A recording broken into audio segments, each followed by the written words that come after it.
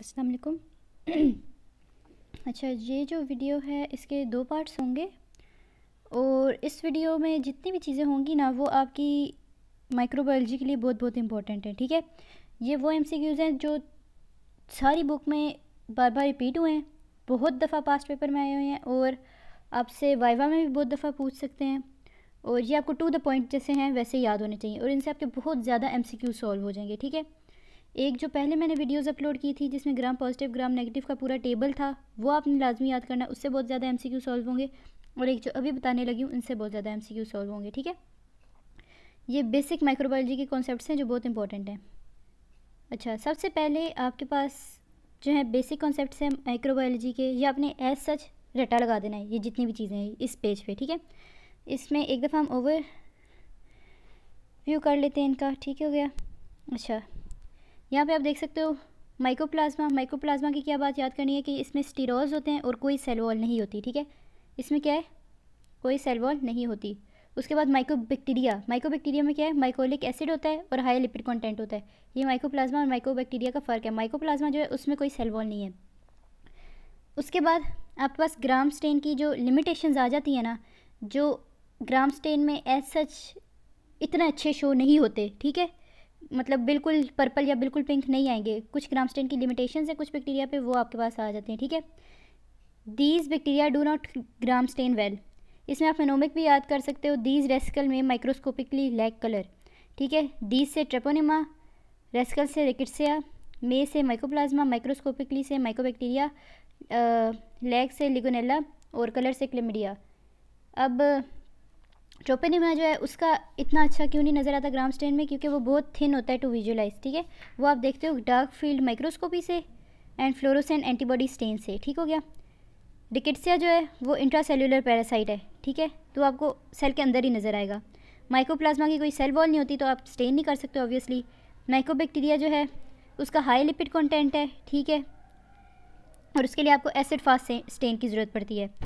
लिगोनेला न्यूमोफिलिया जो है, वो प्राइमरीली इंट्रासेलुलर होता है और इसके लिए आप क्या यूज़ करते हो? सिल्वर स्टेन ये आपने याद करना है। लिगोनेला के लिए सिल्वर स्टेन यूज़ होता है, ठीक है? क्लेमिडिया है। क्लेमिडिया भी इंट्रासेलुलर है। उसके बाद इसमें म्यूरेमिक एसिड होती है सेल वॉल में नहीं होती। तो कौन से हमारे पास इंट्रासेलुलर हैं? एक आपके पास आ गया रिकेट्सिया एक लिगोनेला और एक क्लेमिडिया ये तीनों इंट्रासेलुलर पैरासाइट्स हैं, ठीक है? और लिगोनेला जो है, वो आप सिल्वर स्टेन से विजुलाइज करते हो। उसके बाद आपके पास आगे स्टेन्स वो किस किस के लिए यूज़ होते हैं? इनमें से आपके पास जो इम्पोर्टेंट है, वो आपके पास हैं ये वाले तीन, ठीक हो गया? बाकी ऊपर वाले जो हैं आपने याद करने हैं तो कर लें। जिमसा जो है वो बोरेलिया प्लास्मोडियम ट्राइपेनासोमा और क्लेमिडिया के लिए यूज़ होगा, ठीक है? पीरियोडिक एसिड शिफ्ट स्टेन जो है, वो ट्रोफ ट्रोफाइमा विपली विपली जो है उसके लिए यूज़ होगा, ठीक है? ये यूज़ होता है डायग्नोस विपल डिज़ीज़ के लिए। उसके बाद ये जो तीन है, ये बहुत इंपॉर्टेंट है, ये आपके पास वाइवा एमसीक्यू हर जगह आ जाते हैं। जिल नेल्स स्टेन जो है, कार्बन फिशन स्टेन, वो होता है एसिड फास्ट ऑर्गेनिजम्स के लिए, ठीक है? और एसिड फास्ट हम ऊपर क्या पढ़ के आए हैं? माइक्रोबैक्टीरिया ठीक हो गया? उसके लिए आप एसिड फास्ट स्टेन यूज़ करते हैं, जो जेल नेल्स स्टेन है। इंडिया इंक किसके लिए होता है? क्रिप्टोकोकस न्यू फॉर्मेंस ये बहुत इंपॉर्टेंट एम है, ठीक है? इंडिया इंक स्टेन किसके लिए होता है? क्रिप्टोकोकस न्यू फॉर्मेंस के लिए होता है। सिल्वर स्टेन किसके लिए होता है? फंजाए और लिगोनेला के लिए, ठीक है? लिगोनेला जो बैक्टीरिया उसके लिए सिल्वर स्टेन होगा। उसके बाद आपके पास कल्चर्स के लिए जो स्पेशल रिक्वायरमेंट्स हैं एमसीक्यू पॉइंट ऑफ़ व्यू से वो ये हैं, ठीक है? हीमोफाइलस इन्फ्लुएंजा जो है, उसको आप चॉकलेट एगर से विजुलाइज करते हो और उसके लिए फैक्टर फाइव और फैक्टर टेन होना ज़रूरी है। एमसीक्यू आपके पास क्या आता है कि हीमोफाइलस इन्फ्लुएंजा आप चॉकलेट एगर में ग्रो तो करते हो, मगर उसके लिए कौन से फैक्टर ज़रूरी हैं? तो आपने याद करना कि factor number five and factor number ten जो है, वो इन्फ्लुएंजा के लिए बहुत ज़रूरी है, ठीक है? उसके बाद कॉन्ड्रिया जो है, वो आप किस पे विजुलाइज करते हो? थायर मार्टिन स्टेन या फिर थायर मार्टिन मीडिया या फिर वीपीएन मीडिया ठीक है?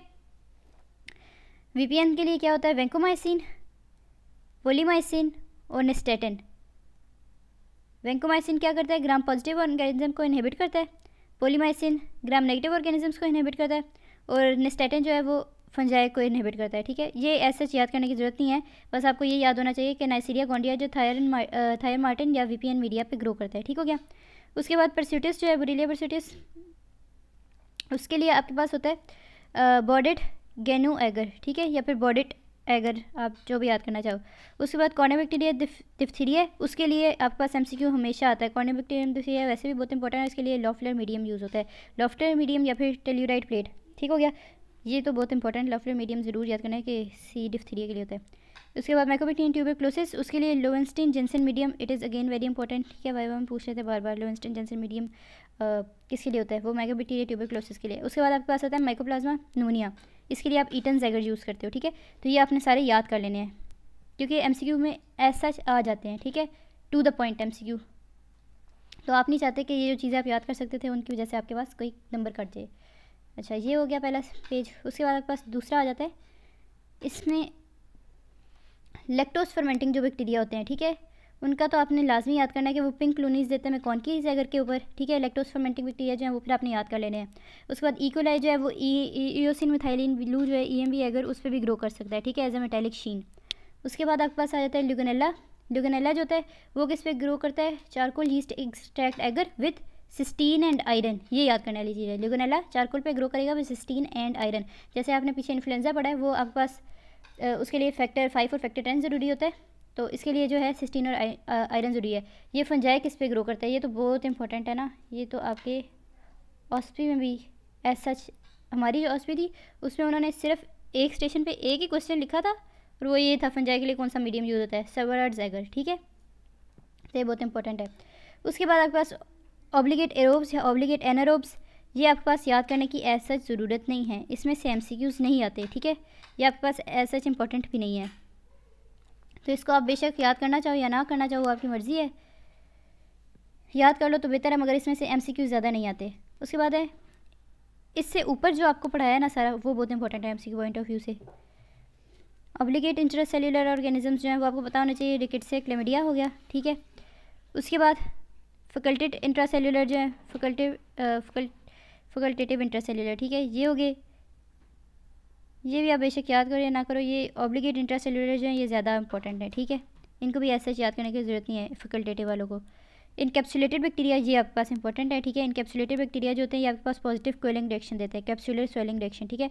तो ये आपने याद करना है। स्टेटोकोकस नमूनिया है हीमोफाइलस इन्फ्लुएंजा टाइप बी है नाइसीरिया मेनिजाइटिस है सेलमोनेला है क्लिप्सेला नमूनिया है और ग्रुप बी स्टेप्टोकोका है। ये आपने याद करना है, ये इंपॉर्टेंट है। एम के पॉइंट ऑफ़ व्यू से इनकेप्सुलेटेड बैक्टीरिया ठीक हो गया? कैटलेस पॉजिटिव ऑर्गेनिज्म, जुडियस पॉजिटिव ऑर्गेनिजम्स, ये भी आप याद कर लो, ठीक है?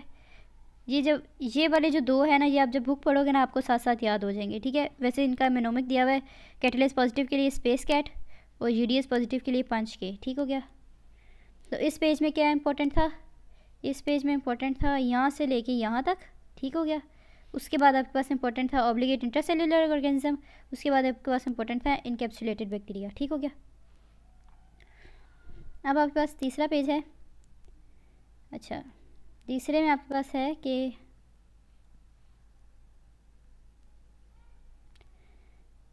ग्रेन्यूल्स कौन कौन से तरह के होते हैं या कलर कलर किस किस तरह का होता है, ठीक है? पिगमेंट प्रोड्यूसिंग बैक्टीरिया जो है पिगमेंट प्रोड्यूसिंग बैक्टीरिया उनके क्या क्या कलर्स हैं? इधर आप देख सकते हो कि एक्लिनोआइसिड इसराइली जो है, इसके आपके पास येलो सल्फ़र ग्रेन्यूल्स होते हैं, ठीक है? इसराइल हैज़ येलो सैंड तो एक्लिनोआइसिड इसराइली उसके येलो सल्फ़र ग्रेन्यूल्स हो गए उसके बाद है स्टेफालोकोकस ओरियस वो येलो पिगमेंट देता है, ठीक है? क्योंकि ओरियस का ऑब्वियसली मतलब है लेटिन में कि वो गोल्ड है। ठीक हो गया? जो स्टेफालोकोरिस स्टेफालोकोकस ओरियस वो येलो पिगमेंट देगा। सिडमना सेरेगनोजा वो ब्लू ग्रीन पिगमेंट देगा।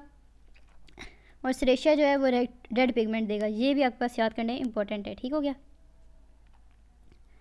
उसके बाद आपके पास क्या क्या इंपॉर्टेंट है? बैक्टीरियल विजिलेंस ऑर्गेनिज्म ठीक हो गया? ये आप के लिए इम्पोर्टेंट है, मगर बहुत ज़्यादा इंपॉर्टेंट नहीं है, ठीक है? ये आप एक दफ़ा इसके ओवरव्यू कर लो, यहाँ से पढ़ लो, ठीक हो गया? प्रोटीन ए है, उसका क्या फ़ंक्शन है? Binds F C region of antibody prevents opsonization and phagocytosis ठीक है? आई जी ए प्रोटीज जो है enzyme that cleaves I G A haves colonize respiratory mucosa ठीक है? Secreted by Shin Streptococcus pneumoniae Haemophilus influenzae type B और Neisseria meningitidis ठीक है? और एम प्रोटीन जो है इट हेल्प्स प्रिवेंट फेगोसाइटोसिस ठीक है? ये तीनों याद कर लो और इनके फ़ंक्शन आपको याद होने चाहिए, ठीक है? ये जो इंपॉर्टेंट है, ये बहुत इंपॉर्टेंट है एक्जोटॉक्सिन और एंडोटॉक्सिन में आपके पास क्या फ़र्क है, ठीक हो गया? सोर्स क्या है? एक्जोटॉक्सिन की ग्राम पॉजिटिव भी हो सकती है ग्राम नेगेटिव भी हो सकती है, मगर एंडोटॉक्सिन एंडोटॉक्सिन जो है, वो आपके पास सिर्फ़ और सिर्फ़ जो होता है ग्राम नेगेटिव बैक्टीरिया प्रोड्यूस करते हैं। Endotoxin only gram negative bacteria secreted from cell exotoxin yes endotoxin no chemistry exotoxin polypeptide है एंडोटॉक्सिन लिपोपोलीसिक्राइड है। टॉक्सिसिटी एक्सोटॉक्सिन की हाई है एंडोटॉक्सिन की लो है। Vaccine toxoids use as vaccine for exotoxin and endotoxin के लिए no toxoid formed and no vaccine available antigenicity ये induce करता है एंटीबॉडीज़ को एक्सोटॉक्सिन और एंडोटॉक्सिन जो है वो पोली एंटीजेनिक है। एक्सोटॉक्सिन जो है वो हीट में रेपिडली डिस्ट्रॉय हो जाता है और एंडोटॉक्सिन जो है वो हीट स्टेबल है टिल हंड्रेड डिग्री सेल्सियस ये सारे भी आप बेशक डिफरेंसेस ना याद करो, मगर ये ज़रूर याद करना है। Source secretion from cell chemistry ठीक हो गया? और उसके बाद वैक्सीन ये तो चार आपको लाजमी आने चाहिए, ठीक हो गया? क्योंकि सोर्स सबसे इंपॉर्टेंट है। Endotoxin only produce by gram negative bacteria it is a very important concept